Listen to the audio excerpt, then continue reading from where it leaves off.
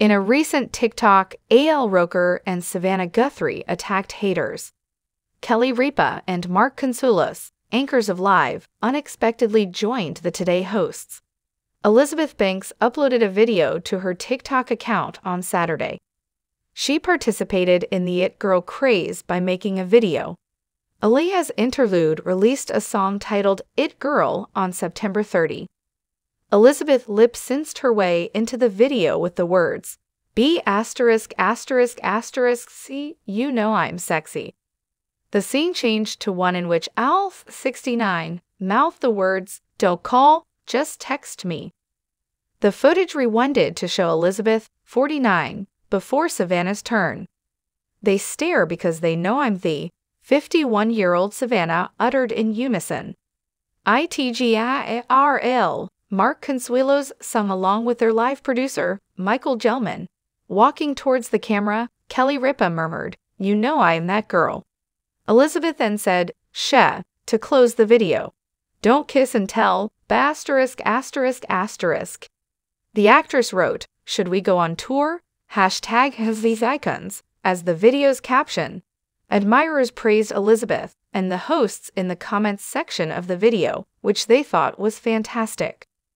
One user on TikTok commented, Not Miss Savannah eating this up, and included a fire emoji. My King Al Roker, spoken by someone else.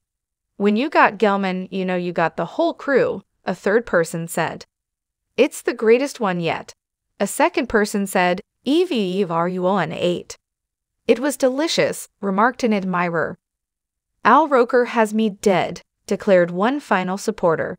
Despite his numerous health issues, Al seemed to be okay as he stood in a packed foyer in the video.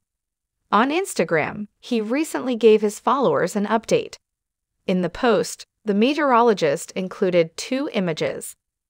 One showed him strolling in December 2022, while the other showed the number of steps he had taken in the previous 60 days. His average step count in 2022 was 10,000. AL currently averages 10,000 per day. He gave gratitude to his wife, Deborah Roberts, 63, and daughter, Leila Roker, 25, for helping him get to where he is now. I was having trouble a year ago when I came home from the hospital. Al wrote as the description for the photo. This week marks 60 days in a row of 10 plus steps a day. It's been a long journey, and many people have supported me. Leading the way are at Deb app and at Cleopatra.